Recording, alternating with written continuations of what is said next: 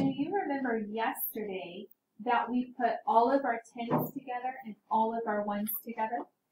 Remember, we need to stay organized and we need to do the numbers one at a time. Sally has 21 stickers in her sticker book. She gets six more stickers. How many stickers does Sally have now? What are we going to draw first?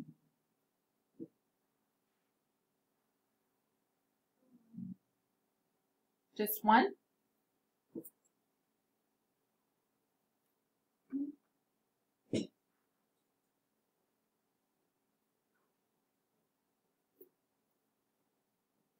What are we going to draw first? Two, Two lines? one circle, Why? because it says on the first number, Uh-huh. Then we do six more. Okay. Very good.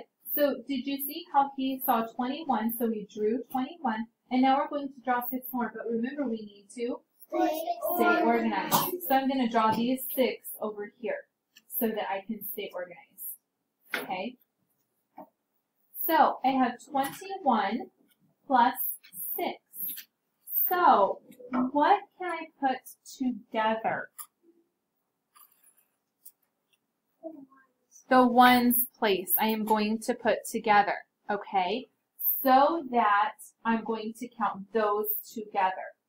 But what do I have to count first? My tens place. So let's count those together. 10, 20, 21, 22, 23, 24, 25, 26, 27. What's my answer? 27. 27. You were exactly right. So do you see how we stayed nice and organized?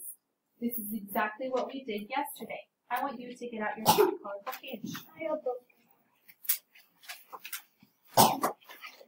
What number are we going to draw first? 21. Please go ahead and draw 21. Make sure and stay nice and organized. Keep all of 21 together. Then what are we going to draw?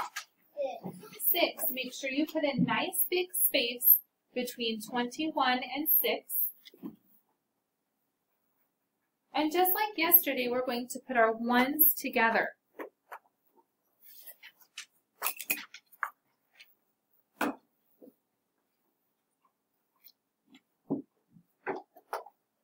And then we found out that 21 plus 6 equals what?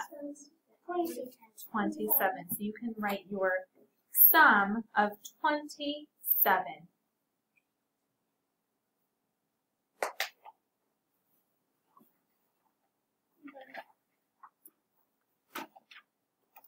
Yes, ma'am.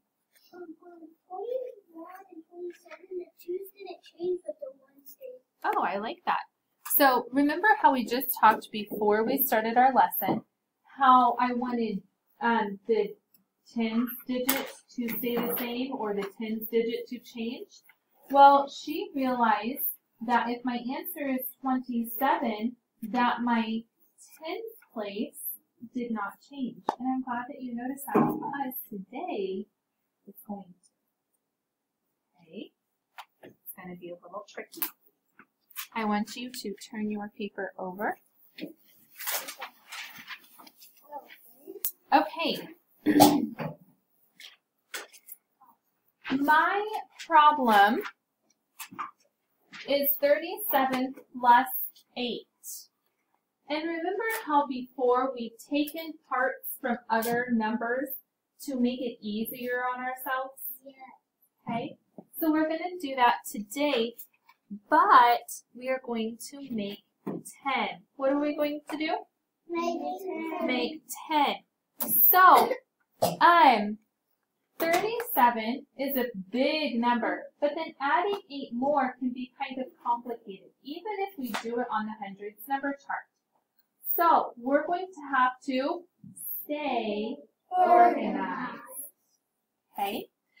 So first what we are going to do is we are going to um, draw our numbers, right?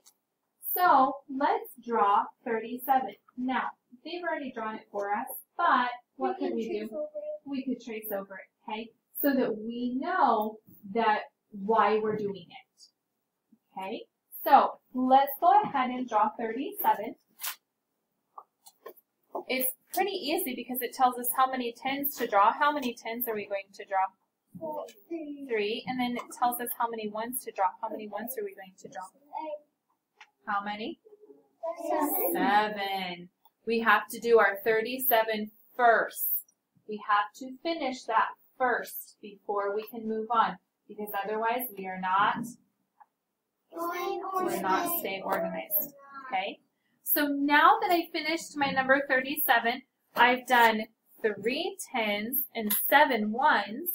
I want to do what now? The extra ones, which is the number eight. Okay? So now I'm going to give myself a little bit of space and I'm going to draw eight more circles.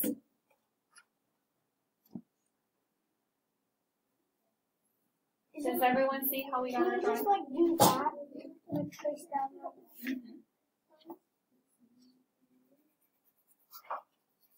Okay, first grade, look at my ones. Did I just draw a lot of circles? No.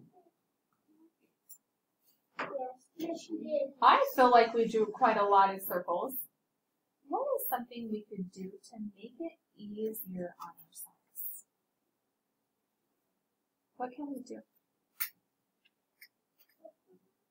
We could circle them Are to we make it easier, okay? But I don't want to just circle all of them. What was our what was the what were we going to be talking about today? Um, or stay organized. Staying organized and making how many? Ten. Ten. So you need to circle one. So I'm no, not just circle one. I want to circle how many? Ten. Ten. So do you see how they moved this picture right here over here? Do you see how they moved that? Okay. So what they did was they circled 10 of the extra ones. So go ahead and do that in the next one. I want you to circle 10 of the extra ones.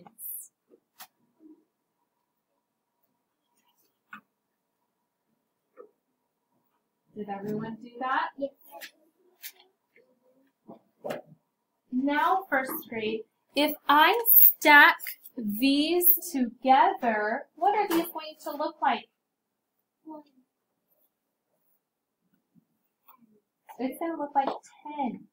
So instead of three tens, now I have Ten. Four. four tens. So do you see how now they put these together to make a 10? So now they've moved it over again, over, whoops, over here. Huh? Maybe. I moved it over here, but I put my tens together. So I've got, the, I've got these ones, these three ones, or these three tens, excuse me, and then this is my extra ten. How many did I not circle? So I still have those five. Does everyone see what we did? Yes. Is this a lot easier to count than this? Yeah. I think it is because we don't have as many ones. Because sometimes we can get off one or two numbers when we draw because we have so many things that we've drawn. So it's a lot easier to make a 10 and put that stack together so that we can count that quicker and then not have as many ones. Does everyone see what we did? Yes. Okay, so we changed 37 plus 8 to 40 plus 5. Is it easier to think of what 40 plus 5 equals? Some of you said it in your brain very quickly just now, the answer. Did you say the answer in your brain when you saw 37 plus 8? Did you the answer like that? Yes. No, we didn't. It was a lot more difficult. But when we saw 40 plus 5, it made it a lot faster and a lot easier because what did we do? We, we circle. We circled Only ten. ten. Okay, so that's what we're going to do. If we have a lot of extra ones floating around, what are we going to do? Put them together. Put them together in groups of Ten. Now, did I have enough to make another group of 10? No, I didn't. So what did I do with those? I just left them alone, right? So if I can't make 10, can I circle them? No. So let's pretend it made 9. Can I circle No. No, because it didn't make Ten. 10. Okay? So the whole point today is to make it easier on ourselves by making 10. We're going to use all of our extra ones to make 10.